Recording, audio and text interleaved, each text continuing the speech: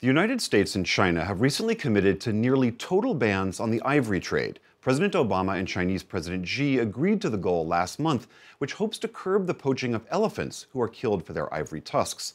But China remains the world's biggest consumer of ivory. The NewsHour's Christopher Booker has more. Hong Kong is one of the largest ivory smuggling hubs in the world, despite a 25 year old international ban on the import and export of elephant tusks poachers kill an estimated 33,000 African elephants every year.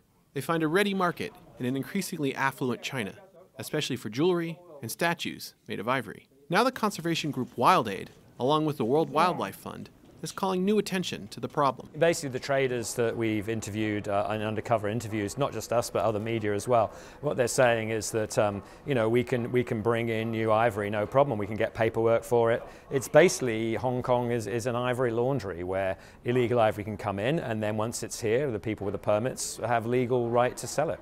In this undercover video, obtained by WildAid and the World Wildlife Fund, you can see a shopkeeper explain how lax Chinese regulations make it easy to import ivory into China.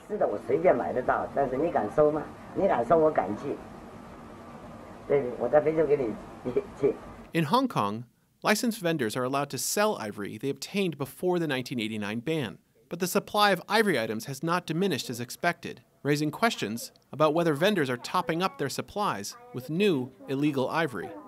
WildAid and the World Wildlife Fund estimate there are currently 111 tons of ivory for sale in Hong Kong shops.